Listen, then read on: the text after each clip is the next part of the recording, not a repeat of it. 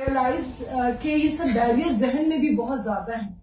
आप जाते हैं मार्केट में आप देखते हैं चीज़ों को जब लोग आपको देखते हैं you mean work I think you get a lot of acceptance और अब आप लोगों की पौध के लिए तो you are in so many fields so I I tend to kind of you know और मेरा अपना जाती तजुर्बा यकीन I think I am generalising it based on that because I work in hardcore male dominated industry and I have felt I've gotten so much respect, so much uh, acceptance, so much support just because they knew I met work आप मेहनत करें, आप कोशिश करें, आप आगे बढ़े, आप अपनी कमिटमेंट शो करें।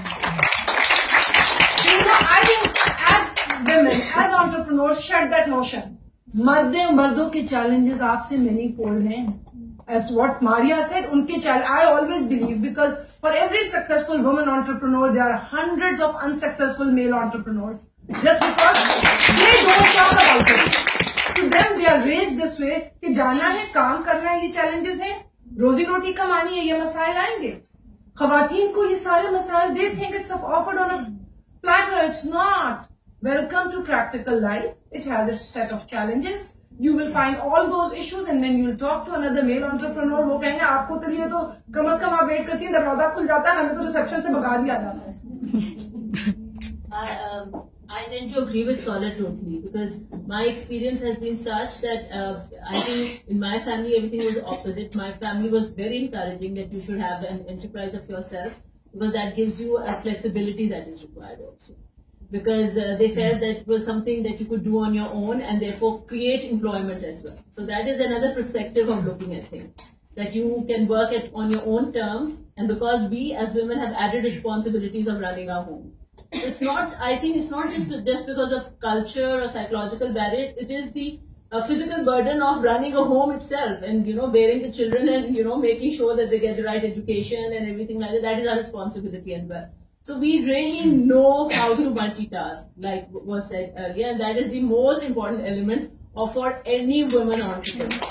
So once you have that and you accept that, most people are most willing in I would totally agree with Solar that I started my career as a sportswoman. I was the national badminton champion. I represented Pakistan in Asian Games, and it's so much easier to women to succeed in this country because there's so few of them. And you know, so we have created our own hurdles. We have created our own barriers. And yes, I'm sure because we come from, I suppose, different backgrounds, and we've never faced those challenges that other girls would face, that our families were most encouraging and everything like that. But besides that, every woman needs to rise and do her own stuff. If you want to take things easy and you want to sit back and then the men do all the, you know, what you say, the uh, earning part and everything, that is up to you. But I think opportunities are equal for everybody. It's just up to you to come and realize that and accept that opportunity. Thank you. I think we have a question. Yeah, uh, from uh, Sorry. yeah, uh, you said that it's it's more of a cultural barrier, I mean psychological barrier.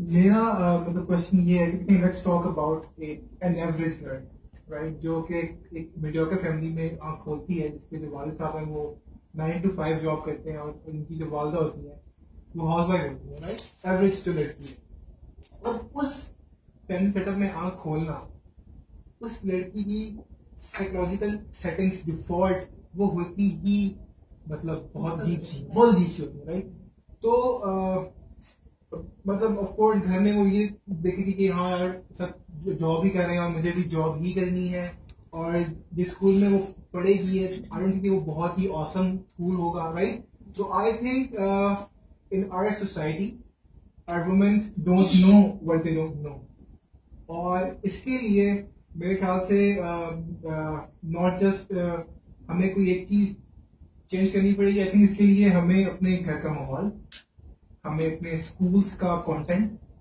और I think the leadership has to be built in in our you know whole environment to make our women work Right? Yes, we have another question. And also, it's, it's just a feedback on what I think actually from my experience. and what actually the panel talked about. they actually talked about uh, different stages. So we might, uh, I don't know, it's my just opinion, according to my experience. कि may be ये जो cultural and then psychological या family opportunity ये सारे मेरा ख्याल है अगर